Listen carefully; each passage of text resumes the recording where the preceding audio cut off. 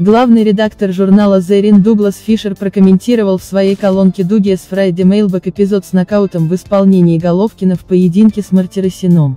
Люди в интернете как обычно мудаки. Но многие пишут, что Головкин должен был быть дисквалифицирован, хотя я пересмотрел и увидел, что Мартиросян еще не упал, когда Трипл Джи наносил удары. «А что ты увидел?» – спросил у Фишера один из болельщиков. Эти люди – глупые зануды, я видел то же, что и ты, Трипл Джи вколачивал гвозди в Мартиросяна, когда тот еще был на пути к падению, если удар и был нанесен после того, как колено или одна из перчаток Мартиросяна коснулась канваса это было случайно, ответил главред Зейрин.